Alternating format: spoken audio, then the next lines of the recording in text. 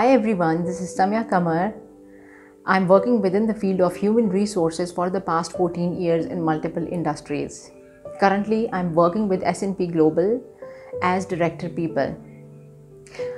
HR is something which is extremely close to my heart. I'm very, very passionate about this field ever since I joined this field back in 2006. Hassan Raza has invited me for his pep talk and I will be joining him on February 7th at 8 We'll be talking about the importance of rebuilding culture for business success. Don't forget to join us. Thank you.